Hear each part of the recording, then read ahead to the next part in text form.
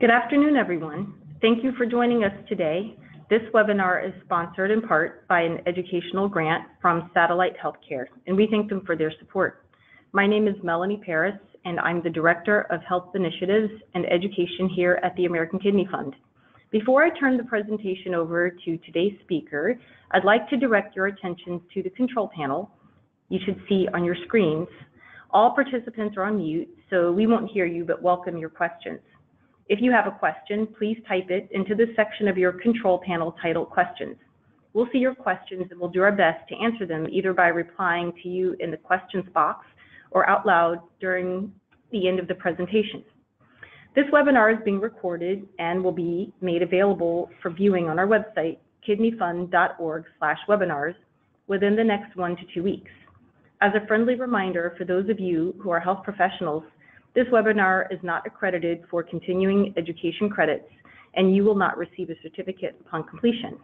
If you believe that your accrediting body may offer you credits for attending this webinar, we'll be happy to send you a certificate of attendance after today's session. Simply email us at education at kidneyfund.org. Without further ado, let me introduce today's speaker, Rory Pace.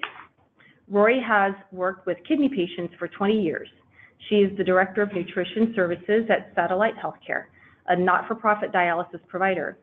She holds a bachelor's degree in dietetics from UC Davis and a master's degree in public health from UCLA.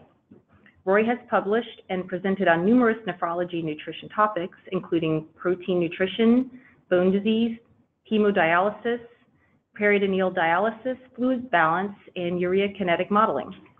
Rory is an active volunteer and leader in organizations dedicated to both kidney disease and nutrition. Thank you, Rory, for joining us. Thank you all for joining us for today's webinar. Uh, today we'll be, we will be discussing managing food choices for people with kidney disease during the holidays.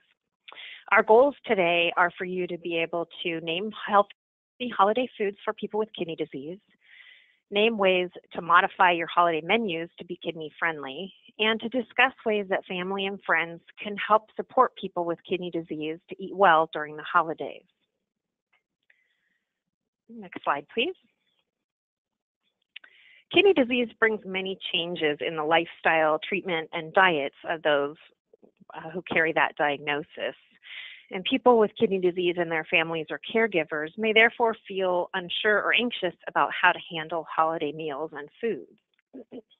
While we know that food is necessary to keep our bodies working and functioning and to stay healthy, I think it's important to consider that food has many other roles that are equally important. We're especially reminded of that around the holidays. When you think of your favorite holiday, what do you think of first? Is it food? When I think of Christmas, I think of my dad's brioche. I can smell the delicious aroma of it baking in the oven and remember many Christmas mornings enjoying this special breakfast around the table with family and friends. So you see, food represents culture, tradition, and celebration. It symbolizes our communities and our families. And though people with kidney disease may have to make changes in their diets, food remains an important part of their lives. However, it may be more challenging for people with kidney disease to meet their nutritional needs during the holiday times. We want patients, families, and caregivers to have confidence to know how to enjoy their favorite holiday foods uh, and help those that they care for and support to enjoy favorite holiday foods in kidney friendly ways. When kidneys aren't working right, changes in diet can help people with kidney disease stay healthy. Some of the things that people with kidney disease need to be aware of in their diets are sodium, potassium, phosphorus, fluid, protein, and carbohydrates. We'll talk about these today and how they apply to holiday food choices. We'll also talk about staying in balance oh, during holiday eating. One nutrition challenge at the holidays and every day is sodium. Sodium is found in salt, and eating too much sodium makes you thirsty. Sodium can raise blood pressure, and this is true for people with kidney disease as well as for the general population.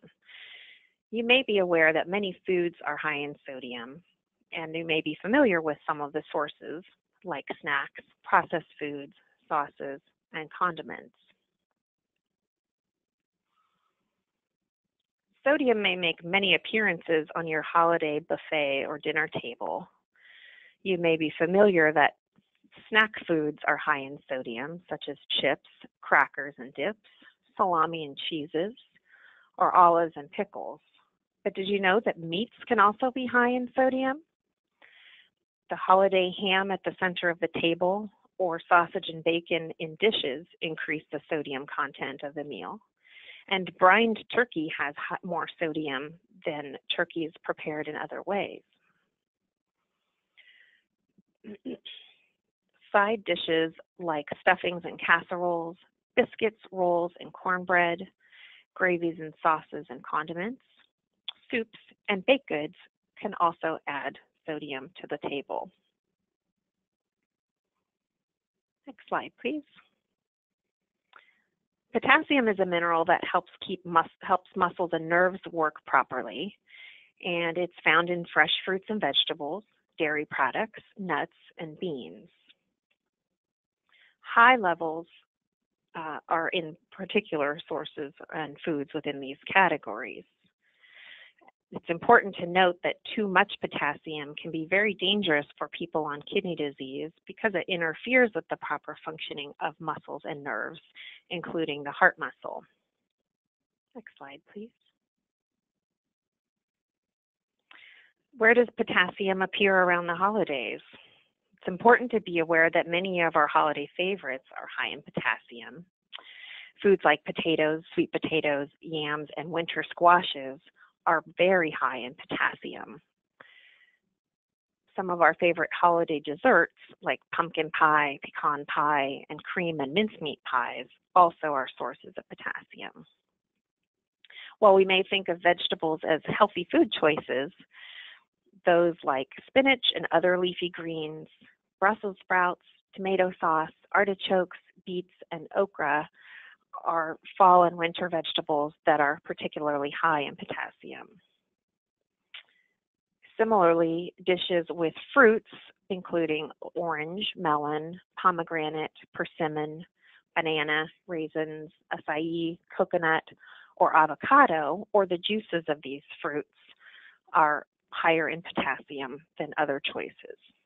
And though it is the butt of many jokes around this time of year, fruitcake is a ho traditional holiday dessert that is important to note is high in potassium because it contains dried fruits and nuts. Phosphorus is another mineral that's important for people with CKD to be aware of.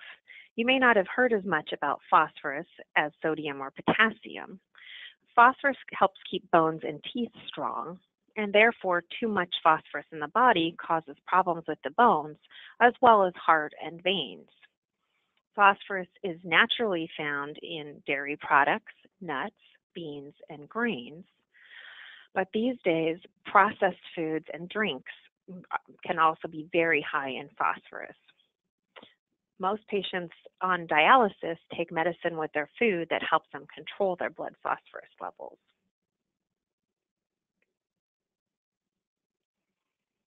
Like sodium, phosphorus may lurk in many foods on our holiday tables.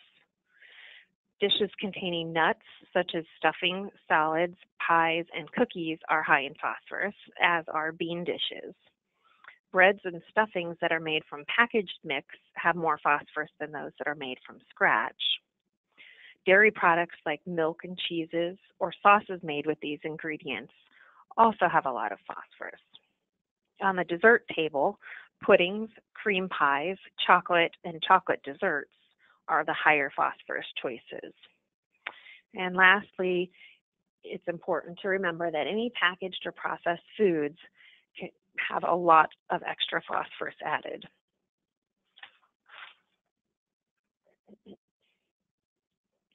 Healthy kidneys balance sodium and fluid in the body, but when kidneys can't get rid of the extra fluid, it builds up.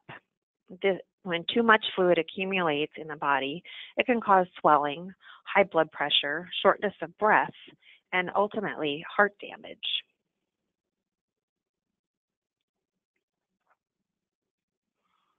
Managing fluids can be an everyday challenge for people with kidney disease. It's helpful to know that for those who need to watch fluid, that all foods that are liquid at room temperature, so that foods that melt, should be counted as part of the total fluid intake. Some common holiday beverages that to consider as part of the total fluid intake include alcoholic beverages like eggnog, cocktails, beer, and wine. Juice, tea, and coffee are other commonly consumed beverages. And of course, don't forget that water is a beverage that should be counted in the total fluid intake. In addition to beverages, liquid foods are those that melt, like soups, gelatin dishes, ice cream, pudding, and yogurt should be counted as part of the total fluid intake. It's important to remember that too much of any beverage can put people with kidney disease at risk.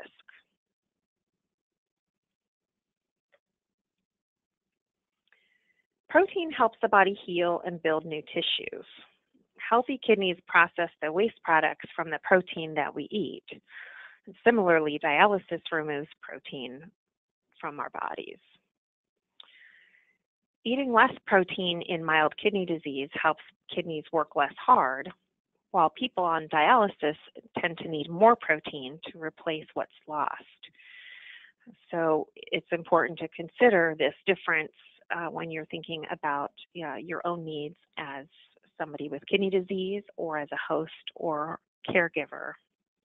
Protein is found in meats, poultry, seafood, eggs, and dairy products. And tofu, soy products, beans, and nuts are also vegetarian sources of protein.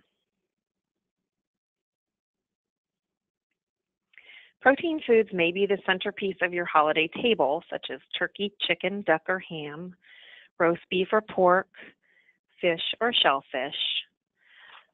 But protein may also be part of side dishes like those containing beans, nuts, eggs, or cheese.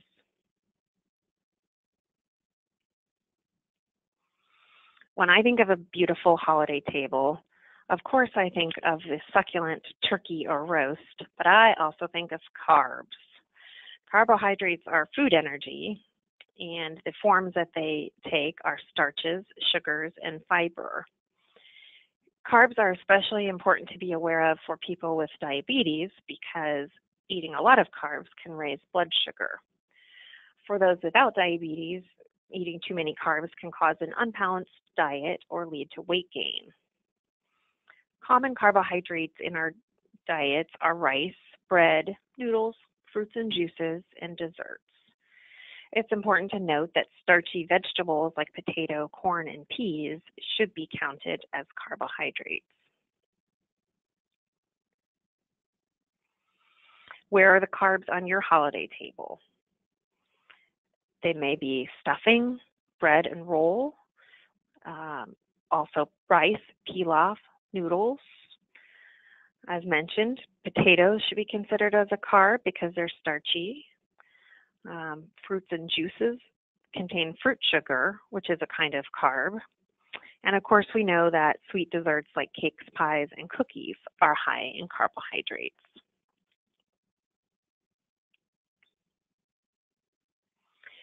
Every successful celebration starts with a plan. Let's discuss some steps to take for healthy, happy holidays.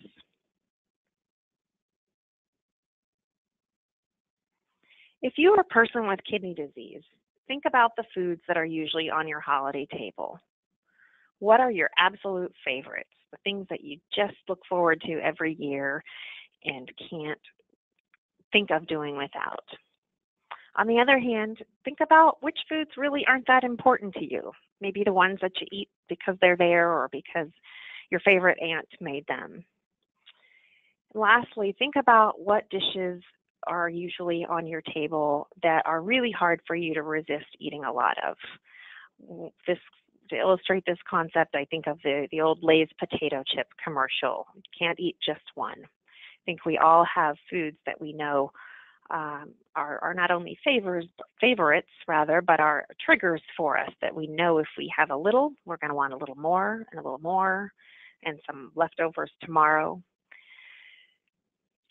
So once you've considered what um, foods fall into these categories for you, make a plan to focus on your favorite foods in holiday celebrations. Specifically, try to limit yourself to one small serving of a high potassium food to keep your heart healthy, and limit foods that are high in phosphorus to small servings. And lastly, think about those foods that are hard for you to resist, the can't eat just one foods, and consider that those might be better things for you to avoid or stay away from uh, to make that easier so that it's not that really hard battle to not go back for seconds and thirds and have more the next day. Next slide, please. Uh, also, if you're a person with kidney disease, consider bringing a kidney-friendly dish to share with the other guests. Um, this is particularly uh, helpful if you're not sure what your host may be serving. Additionally, if you feel more comfortable, you may consider bringing additional food with you. Um, just it's a good idea to let your host know this beforehand so that he or she isn't caught off guard and, and doesn't take it personally. Uh, lastly, if you are somebody that needs phosphorus binders, remember to bring them with you and uh, make a plan to make sure that you take them and consider that if a, a celebration or party goes on for you know, an extended period of time that you may need to take more than one dose of binders uh, as you move through the courses of the meal or celebration. Perhaps you've joined our program today because you will be cooking for a guest with kidney disease. If so, cook as much as you can from scratch to control and limit the amount of potassium and phosphorus that's in foods, as well as sodium. Use fresh or frozen ingredients instead of packaged or canned. Use herbs and spices in cooking instead of salt. And try to prepare and serve sauces on the side. While people with kidney disease do have different nutrition needs, it's important to remember that a kidney friendly holiday meal can be enjoyed by all guests. There's no need to cook separate, different food for guests with kidney disease. If you are a family member, caregiver, or host, communication is really important for success when it comes to nutrition and food choices. And I will add that this really isn't just true around the holidays, but all the time. And this can be uh, one of the most challenging things when it comes to supporting somebody with kidney disease. Consider that if you're a guest with kidney disease, um, talk to your host about your nutrition needs. Uh, that may be a little uncomfortable to share personal information, but you know, think about how you might be comfortable having that conversation so that your host can be aware and be accommodating uh, to the degree that he or she is able. Similarly, hosts can share their menus with their guests ahead of time so that guests with kidney disease know what to expect and can prepare accordingly understand that your guests with kidney disease may not eat everything you serve. You know, if your favorite aunt makes a, you know, potato, sweet potato gratin with cheese and cream that may not be the healthiest choice for you as a kidney disease patient, um, you know, there's a way to convey perhaps that uh, how much you've enjoyed that dish in the past, um, but that it's no longer um, a healthy choice for you. Um, and, you know, I would add too that uh, hosts should try not to take that personally. Um, you know, and, and last but not least, the important thing is to have an open dialogue. If you're uh, a person with kidney disease, somebody supporting a person with kidney disease, about how you can support them in meeting their goals. I know families and friends and, and caregivers often mean well, um, and we want to be helpful, but often the things that most naturally come to our minds uh, may backfire, or have the opposite impact of the intention. such like, uh, you know, anybody ever said to you, should you be eating that? Doesn't really have the right uh, impact. It's not usually helpful. So, better to talk to your um, family, friends, caregivers ahead of time and let they let them know how they can support you and help you, um, both during with holiday food choices and year round. Next slide, please. So now that we have a better awareness of holiday dishes that can be challenging for people with kidney disease, let's look at ways to reset the holiday table to be kidney friendly. One of my favorite playwrights, Oscar Wilde, once wrote, everything in moderation, including moderation. This is a worthy concept to keep in mind as we approach holiday eating. Using moderation helps us stay in balance, but not being overly strict lets us incorporate our holiday traditions into a kidney friendly diet. With that in mind, let's talk about serving sizes. A serving of meat, such as turkey, beef, pork, or fish, is about the size of the palm of your hand or a deck of cards. cards. Remember that people need different amounts or number of servings of protein foods depending on their stage of kidney disease. A serving of rice, stuffing, or vegetables is equal to a scoop about the size of a computer mouse.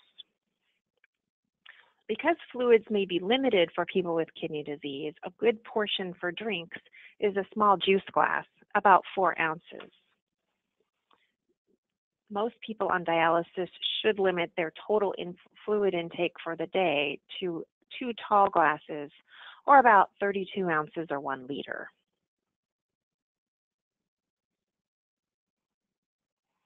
What foods are on a kidney friendly table? For the appetizer course, choose low potassium raw vegetables like peppers, cucumbers, or radishes and maybe a few carrot or celery sticks. Cream cheese or low sodium cottage cheese can make a good spread or dip for these vegetables.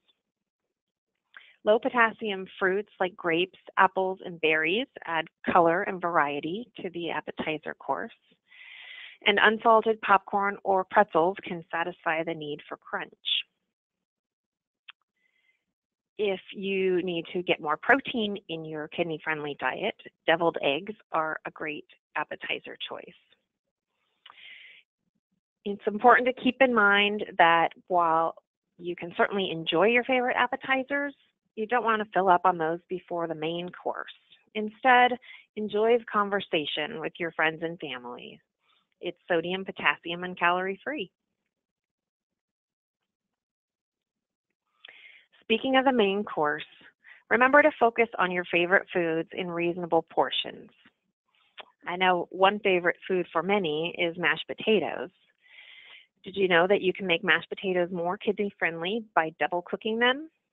Some people call this dialyzing potatoes. This helps to reduce the amount of potassium in the potatoes. The way to do this is to peel the potatoes and cut them in small cubes, about one inch.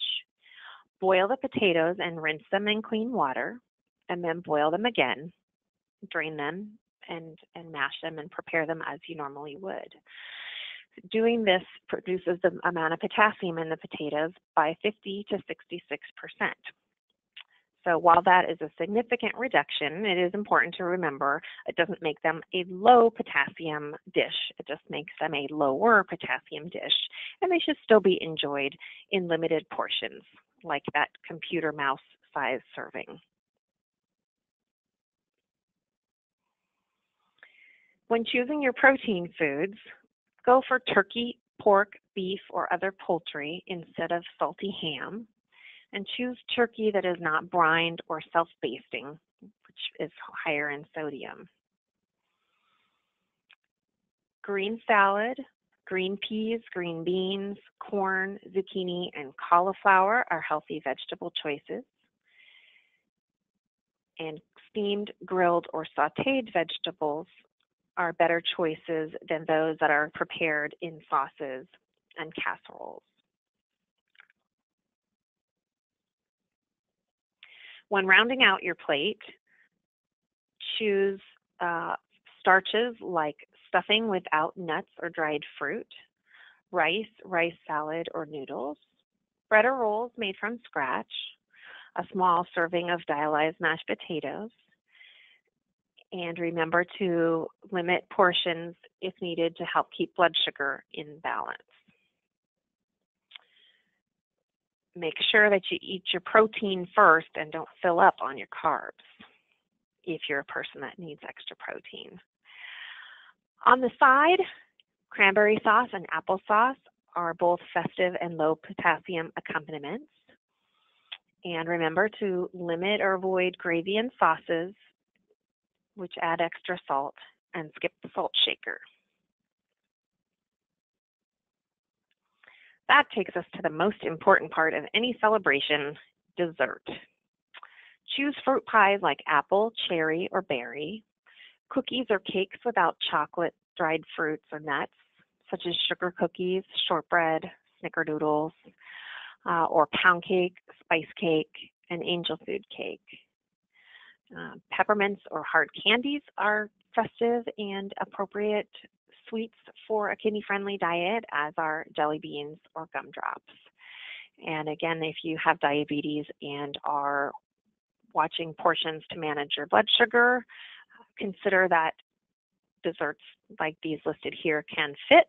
They just should be balanced with the other carbs in your total meal, like the starches and fruits and juices.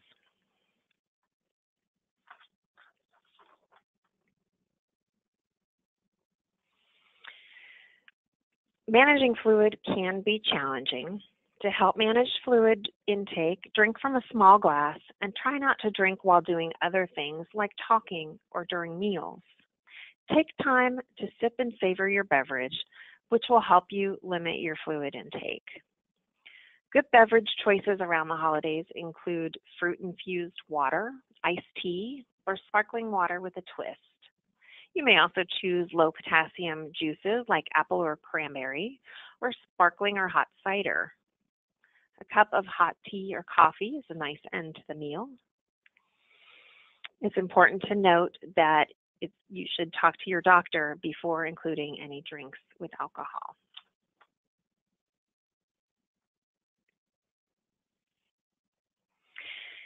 Before we conclude, let's talk about balanced eating during the holidays. And these tips aren't really specific to people with kidney disease, but may be helpful tips for all of us um, as holiday eating presents challenges uh, and challenges to balance uh, for everyone. If you're going to a celebration, plan ahead about what you are going to eat. Start your day off right and um, keep your appetite in check by eating breakfast. It's often said that breakfast is the most important meal of the day, and this is certainly true in helping to manage your appetite and help you make healthy food choices in holiday party celebration environments. It may be seem logical to skip meals to make room for holiday eating later in the day, but skipping meals will leave you uh, heading into celebration situations hungry, which will make it harder to make good food choices even when we're being careful with our food choices, we all tend to eat more around the holidays and maybe foods that are richer, higher in calories than we normally would. Um, and that that takes us back to our concept of you know using moderation and moderation. So you know with that in mind, try to stay active to help balance those extra calories or extra rich foods. Consider taking a family walk after dinner, throw a ball with the grandkids, um, play a lively game of charades, or have a dance party. Whatever it is that you enjoy um, that you can participate in with your family and friends or um, outside of celebrations as well. And of course, you know, consult your doctor before undertaking any um, significant exercise to make sure that it's healthy for you. Once you're in a, a party or celebration situation, don't overdo it on snacks and appetizers. Again, enjoy the conversation and the time with those people that you care about and save room and appetite for the main course. When it comes to the meal time, be sure to serve yourself a balanced plate that includes protein in the right amount for your kidney disease stage, vegetables or fruits, and carbs. And lastly, consider that it takes time, about 20 minutes, for the message that you've eaten to travel from your stomach to your brain. So pause and give yourself time to digest and for this message to travel before taking seconds. Next slide, please. You may be thinking that we've talked a lot about food, but you still don't know what on earth to cook. Well, with that in mind, I provided some recipe resources, uh, some websites that have tasty and kidney-friendly recipes. Um, there are probably many others out here, uh, but these should be some helpful and reputable sources for you. In addition, we will upload, uh, along with the presentation, a, um, a handout with a few recipes that you may want to try and enjoy.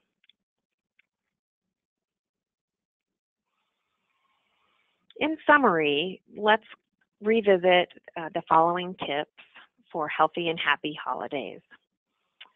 Keep your food choices in balance. Use moderation. Uh, remember that portions matter. Know yourself. Which foods are your favorites? Which foods are your triggers or your weaknesses? Talk with your family, your caregivers, your loved ones about how they can be of support to you. Plan ahead, and most importantly, enjoy.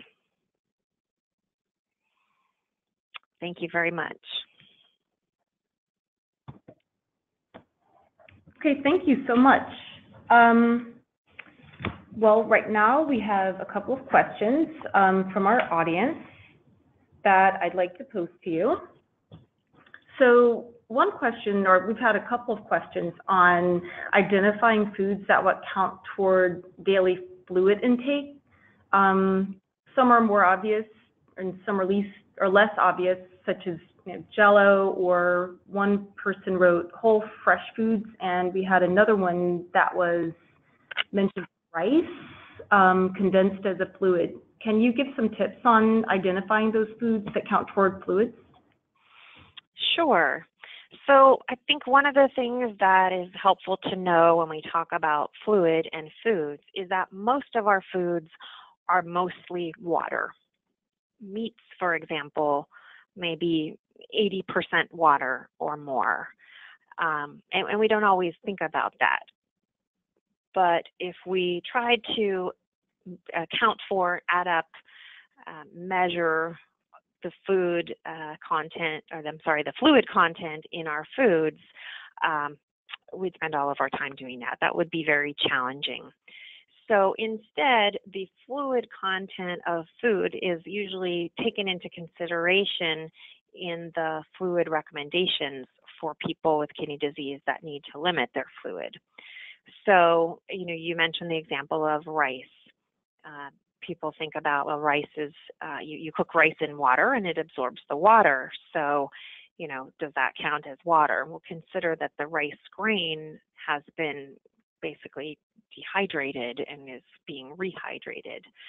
So that's kind of the long answer. The short answer is if you're a person with kidney disease needing to watch your fluid intake the fluid that is in solid foods that don't melt is not critical to try to account for and keep track of. Really, you want to put the focus on liquid beverages, um, liquid dishes like soups and gravies, even, and then the dishes that melt, like ice cream and jello and popsicles and yogurt and pudding.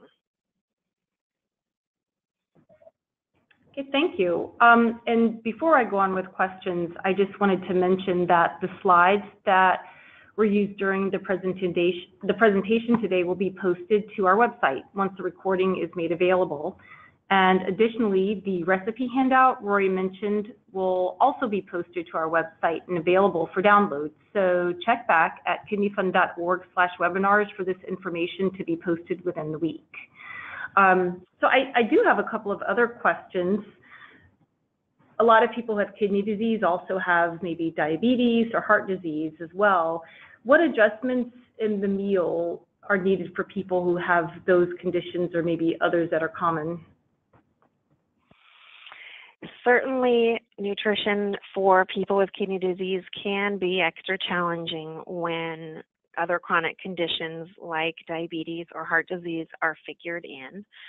Let's talk a little bit about each of those separately. So, um, you know, we tend to think of diabetes as requiring, you know, no sugars and, you know, maybe special foods.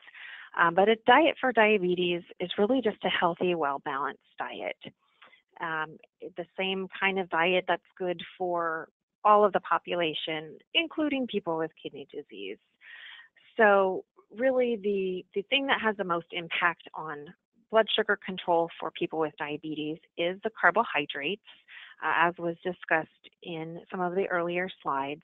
And, you know, so it's just important to consider that balance, you know, in the menu, in the plate, in the, the food choices between courses, uh, either in a holiday celebration situation or any day. Um, you know, and, and really what we try to teach is, you know, balance, but in the concept of, of exchanges or making choices. So, for example, if you really love grandma's apple pie and you are looking forward to a piece of that after dinner, budget some carbohydrates for that pie by not eating, you know, all of the carb choices that are on the table. So if you can live without a roll, but you really love the stuffing, you know, have a spoonful of stuffing, have some green salad, which is low in potassium and um, as well as carbohydrate and uh, you know is is filling, and save some of those carbohydrates for that favorite pie. Um, and of course, you know, any it's important to remember that um, beverages also tend to have sugar and can contribute to um, challenges with blood sugar control. So it's best for people with diabetes to choose unsweetened beverages. I would like to think of that as, you know, making more room for the carbs in the good food, right? Save it for the good stuff. Um, as far as heart disease goes, the key thing to focus on or modify there is fats. And that may be um, added fats at the table. So somebody with heart disease is better off to enjoy their freshly baked roll uh, without butter. Enjoy just the um, good flavor of that fresh bread. But it's also uh, a factor in preparation. So choosing heart healthier fats to cook with, like olive oil or canola oil, uh, versus butter or shortening um, that helps to reduce fat intake. Um, it's also important to limit the total amount of fat that's used in cooking because even heart, heart healthier fats do contribute to the uh, production of cholesterol in our livers. Um, and there are also preparation methods that don't use any fats, like grilling um, or sauteing in um, fruit juice instead of oil. Uh, so those are some of the, the simplest, most uh, readily uh, incorporatable modifications to make for people with heart disease to reduce the fat content of holiday foods. Thank you. Actually, while I'm Um, thinking of it, if I if I may add another, um, Sure. I think one one of the uh, common holiday foods that is tends to be high in fat that doesn't need to be is stuffing for anybody who's made stuffing, you know that the uh, recipe or instructions usually begins with melting a whole lot of butter and sauteing your vegetables in it, um, and perhaps adding more butter later to help moisten the stuffing. Um, but you can accomplish the same goal by adding um, a low sodium broth or a juice like apple juice uh, to give good flavor and good moistness for the stuffing with much less fat. Oh, thank you. Um, there's a question. I'm uncomfortable telling the host of the Thanksgiving dinner what my dietary restrictions are as a kidney patient. How do you suggest I deal with the issue? So this also sounds like relationships and how much you want to reveal about, you know, what you need. So what are your tips on having that conversation? This is a challenging one, and it's really going to vary for each person. Uh, many people are very private about many aspects of their lives, including their own health or healthcare needs. And I think that, um, you know, if you're in that situation, you have to really reflect on what you are comfortable with. Um, if you prefer to keep that information private, then you just may need to make a plan to make sure you have something to eat that um, you know is healthy or safe for you. Um, but it may be it may work to take kind of a, a moderate approach to not reveal you know the nature of your special dietary needs, but to say that you're focusing on your food choices to be healthier and you know therefore you um, are trying to think. Um, I guess I would say, you know, you can say tell your host that you may not uh, eat all of the food that is served uh, because you are focusing on healthier food choices, but that you'll really enjoy being there and being a part of the celebration. Um, you know, to maybe focus on that social aspect of the gathering. Um, this is a really tough one. You know, it's there's not one answer, and even when approached constructively and, and carefully, people can get their feelings hurt. Um, so I think you, if you are somebody with kidney disease and you don't want to share your diagnosis, um, you can make a choice to bring your own food. You can make a choice to just generally inquire what types of things will be served and how they might be prepared, which might then help you make a choice about what to eat or um, what you might bring with you. Um, I think the easiest solution is the one that was mentioned, which is bring a kidney healthy dish, a kidney friendly dish, uh, something you know you can eat so that you feel confident that there's at least one thing on the table that you can eat with confidence without having to it to be a big discussion. I know that wasn't a very specific answer, but I hope that at least gives some thoughts or some ideas about how to approach that. And I would add, you know, if you are um, a, person with kidney disease on dialysis, this is a great thing to reach out to your dietitian or social worker about. Um, they may have some tips to help guide you in the right direction, particularly because they will know you well. Thank you. That actually leads into another question. Um, what are the biggest differences between a chronic kidney disease diet and an end stage renal disease diet when it comes to the holidays? There are really more similarities than differences between holiday food choices for chronic kidney disease versus dialysis. The most uh, noteworthy one is amount of protein. And we touched on this a little bit, but there's enough evidence to suggest that when people have chronic kidney disease, if they limit the amount of protein foods that they eat, particularly animal proteins, that that makes their kidneys work less hard and may actually keep their kidneys healthier longer, potentially pushing off, delaying the need for dialysis.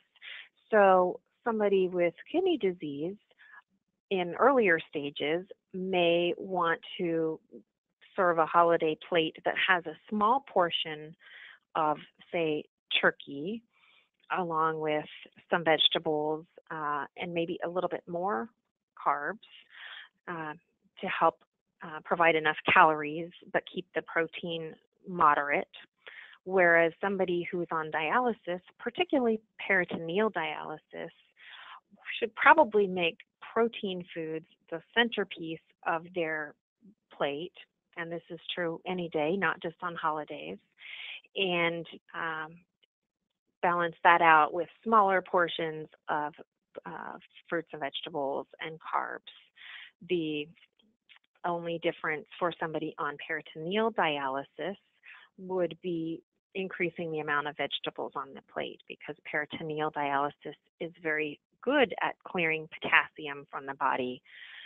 And so people on peritoneal dialysis tend to need a lot more potassium. Um, so, but the rest of the things that we talked about today, sodium, phosphorus, um, fluid, uh, really apply across many stages of kidney disease. I guess it's fair to say that fluid intake needs do vary greatly, um, partly influenced by stage, but also influenced by um, individual patients' bodies and how much their kidneys are still working. Uh, even people on dialysis sometimes have some leftover kidney function that uh, helps them make some urine and get rid of some fluid, and so they may be able to drink a little bit more fluid. Whereas people who are not yet on dialysis with earlier stages of kidney disease who have hearts that don't work very well may need to limit their fluid pretty um, significantly. Thank you. Here's another one. Uh, when I know I'm going to be eating a bigger holiday meal, when should I plan my dialysis around that? Right before or right after? Hmm, that is a very good question, and I'm guessing that comes from a home dialysis patient. And I think this is a good thing to discuss with your treatment team, who again, who will know you better and know your dialysis prescription. But I will add that there sometimes is a perception that if I do my dialysis after I eat, then I can eat more, I can eat whatever I want, or, you know, eat more potassium or phosphorus, and my dialysis will take it out right away and it won't be a problem. And that's not really correct because it does take time for the nutrients that are in our food to be digested and broken down to that level of the actual um, waste products or elements to get to the stage where they actually can be removed through either hemodialysis or peritoneal dialysis. So my guess would be for most patients, it's probably better to do your treatment ahead of time, um, more for kind of social or logistic reasons than physical reasons. Uh, you know, my experience working with patients is, um, you know, they're all human and once they're in the mode of uh, doing something else, focusing on something else like an activity or a holiday celebration, dialysis leaves their minds, which is perfect, which is great. You know, we want people to dialyze to live, not live to dialyze. Um, but I think there's a potential for mistreatment if it's put off until after a celebration when then people are you know, have full tummies and are happy and have enjoyed the company of their friends and loved ones. Um, so I think those are the two things to consider. Um, but again, it is important to talk with your your nurse, your care team to get that kind of feedback for your specific uh, dialysis prescription because everybody's dialysis prescription is a little bit different. Well, I have two questions that I, I think I'll just combine them because they're closely related. So one is where can I get kidney-friendly recipes to use for the holidays? And also, um, those that are on a budget. A lot of people are on budget, so where can someone find kidney-friendly recipes that are not expensive or complicated to prepare? Those are some challenges for sure. So hopefully the recipe, I'm sorry, yes, recipe source resources that were included in the slide deck will be of use to those who have this question. Um, you can certainly Google as well, but um, Satellite Healthcare's website, Kidneys Do That, has some recipes. Um, DaVita has a pretty uh, extensive collection of recipes that may be helpful. Uh, and then these other two sites here, Northwest Kidney Centers, as well as a uh, blog that is um, written by a dialysis dietitian, a renal dietitian called Kidney Grub, had some nice recipe options there. Um, now, some of those recipes are going to be fairly simple and some of them may be more complicated and elaborate. But I think if we talk about and think about eating on a budget, the, the best approach is to keep it simple, right? We talked about having a balanced holiday plate and, um, you know, maybe a turkey or a beef tenderloin is an expensive protein choice, but roast chicken may be just as delicious and much more economical, you know, or a, a pork loin. Um, rice is very inexpensive and can be um, easily kind of spruced up with um, some veggies or seasonings. Uh, I believe I did see some rice or rice salad recipes in some of these sources. Um, again, stuffing uh, made from bread, relatively low in cost, not complicated recipes to um, put together. Um, you know, I think we it's sometimes easy to think that eating healthily means you know buying food that is more expensive you know organic food or from fancy stores um, but really as long as we are choosing fresh ingredients unprocessed foods um, typically you can create a menu that's lower in cost uh, you know, and that includes even fresh or frozen vegetables. Frozen sometimes are, are more economical, but are just as healthy. Um, so if you're looking for recipes, you know, please do check out some of these sources. I think you will find some that are not overly complicated or elaborate uh, and can be budget friendly. Thank you. Um, here's another one. I will be eating my Thanksgiving dinner at a restaurant. What are some other tips besides the ones that you've mentioned should I be aware of? I think the most important thing when it comes to restaurant dining is to know your restaurant. Um, and, and knowing your restaurant means getting some experience with restaurants and asking questions and going back to restaurants that are supportive of your needs. Some restaurants are just not going to be able to be uh, flexible or make modifications to help support your kidney diet because of how their recipes are prepared. And others who want to be accommodating and really want to earn your business and your loyalty will make those accommodations for you. So, you know, I think it's important to be um, polite and constructive in approaching this with a restaurant, but, you know, same thing, you can ask questions. You can share to the degree you're comfortable uh, about what your dietary needs are. I think when it comes to restaurants, the most obvious and common um, concern or request is salt or sodium.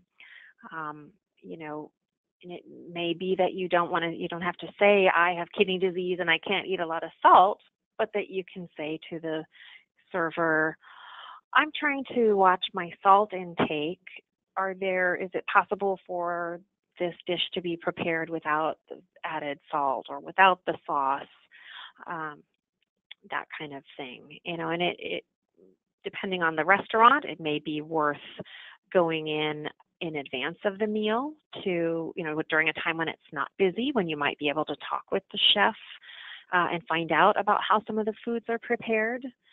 Um, so, you know, similar tips, but, you know, in my experience, there are restaurants that will be accommodating and others that just aren't for whatever reasons. And so it's the ones that can accommodate you that you'll go back to.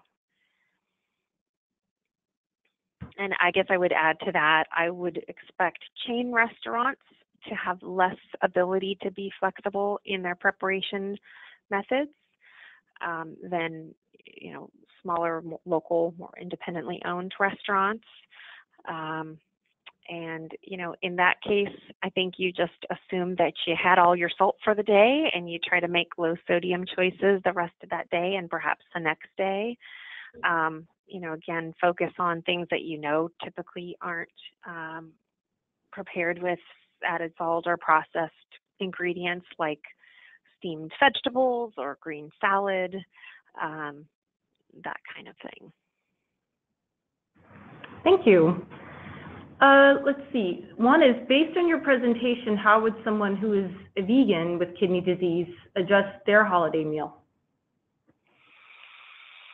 This is a, a challenge for sure and an emerging area for us as uh, dietitians working with kidney disease patients. I think um, we will continue to learn more and get more comfort level with vegan and vegetarian diets as they become more common. Um, but I think that as we trade out animal products in our diets for vegetable based, you know, plant based foods, that there's probably a, a, break even in some of these nutrients of concern, or maybe even an improvement. Um, you know, we focus on things like dairy products and nuts and beans being high in phosphorus because they give us less protein bang for the buck than meats do. But meats are also very high in phosphorus. So while we may steer uh, somebody who eats a mixed diet to limit beans and nuts and dairy products for a vegan diet that you know including those foods is probably not problematic um, so i think for the modifications for a vegan diet really would focus more on the sodium content um, and probably watching the potassium content as well. Um, I will say that it can be challenging for somebody to get adequate protein on a vegan diet if they're on dialysis. Um, and so that's something to work with your dietitian on if you are on dialysis. Um, for those with chronic kidney disease not on dialysis, there is more and more evidence emerging that a plant based diet preserves kidney function longer, helps keep kidneys healthy longer, and is probably a good idea. Thank you. Um, I guess that would be our last question. So thank you again, Ms. Pace, for joining us and leading us are leading such an excellent webinar. I mean, I know holiday eating is a challenge for all of us, and particularly if you have kidney disease, it can be even more so. So that was so much useful information. So thank you. Um, let's see, our next webinar will be held Wednesday, November 15th from 2 to 3 p.m. Eastern Time. Dr. Sodhi of St. Louis University Hospital will highlight the ups and downs kidney patients and their families may experience after a kidney transplant. She will provide tips for ways that transplant patients can live their fullest, healthiest lives. Registration is now available. Visit kidneyfund.org slash webinars for more information to register. When the webinar closes, please do not close your browser window. You may see a pop-up saying that the webinar has ended. Please close that pop-up and proceed to the webinar evaluation survey. Your honest feedback will help us make our webinar program the best it can be. Thank you so much for joining us today.